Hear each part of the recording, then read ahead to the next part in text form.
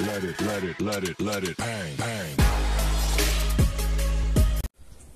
Hola amigos, ¿cómo están? Hoy estamos aquí con la Montecarlo, esta es la Montecarlo. Vaciamos esto y hicimos un tratamiento con agua oxigenada porque pues, está presentando un poco de alga filamentosa.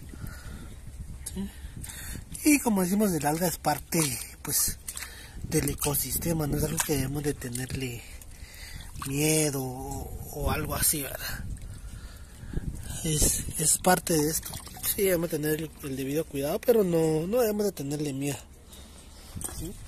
Y por aquí estaba la otra donde estaban las notas más grandes. Pueden ver aquí ya las podamos. No quedó casi nada pues porque a la hora que, que suben a la superficie, lo de abajo pues ya no contiene hojas. Y ahorita les voy a enseñar qué es lo que estamos haciendo. Bueno pues entonces aquí tenemos la Montecarlo que estamos sacando. Usamos piedra pome para el, para el fondo. Usamos tierra negra y de sellante usamos arena de río. Vean, esto es lo que cortamos ahorita ahí donde les acabo de enseñar. Vean, con, con, esto bien podrían tapizar un acuario de, de medio metro y bien tapizado. Pero como pueden ver aquí pues nos salió alga, entonces aprovechamos para cortarlo de una vez. Para hacerle su poda, una poda pues bastante eh, dura, pero no, no que mate a la planta. Entonces aquí lo estamos trasplantando porque esto lo vamos a meter a los a los invernaderos que tenemos aquí. Estas dos mesas pues van a ser también otros dos invernaderos que vamos a poner ahí. Y para tener la opción, porque hay gente que le gusta, eh, a mí si me preguntan, a mí, eh, no me importa que, que, me vendieran un buen trozo de esto con alga, pues porque eh, uno le hace tratamiento con agua oxigenada o con cualquier antialgas y, y pues la planta no sufre tanto, ¿verdad? Y ya está, ya está climatizada en, en sumergido.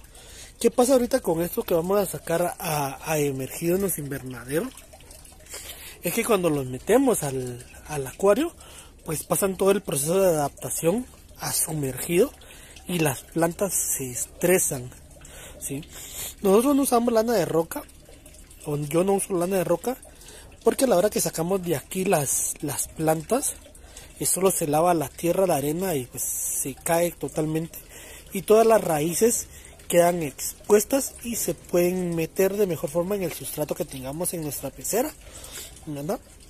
Y de esta forma pues eh, que vayan nutriéndose bien las plantas. Porque con la lana de roca a veces quitamos los pelitos más finos, le vamos a decir a las de las raíces que con esos pelitos más finos es con las que ellos absorben los nutrientes.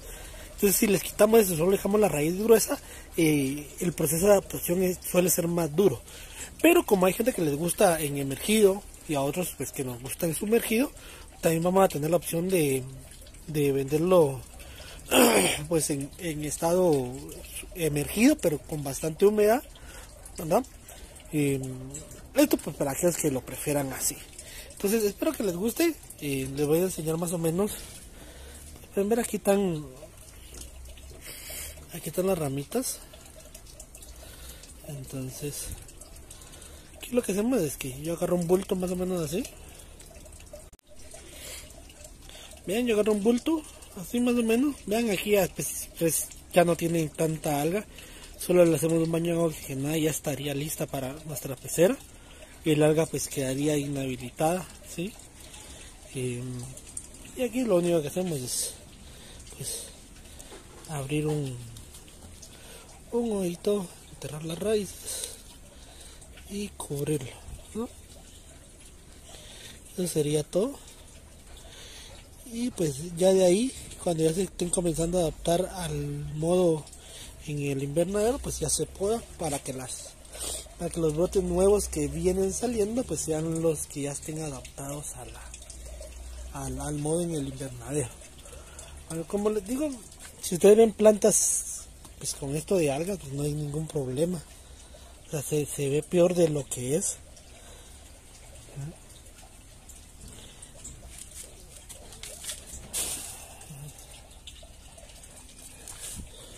Aquí me cuesta con una mano pero eh, si ustedes agarran por ejemplo un pedazo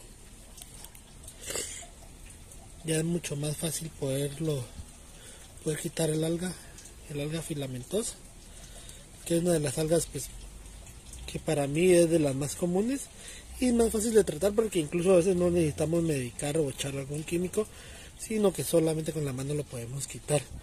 Y recuerden pues aquí les tratamos de mostrar las cosas tal y como son no solamente la parte eh, bonita como muchos hacen por ahí que, que, que solo enseñan los aciertos y los errores no entonces pueden ver aquí podríamos sacar aquí un poco que este poco pues casi ya no tendría ya no tendría mucha alma. Aquí porque me, con una mano con el dedo me cuesta. Si se lo quitamos con cuidado con paciencia no pasaría nada. Y como les digo pues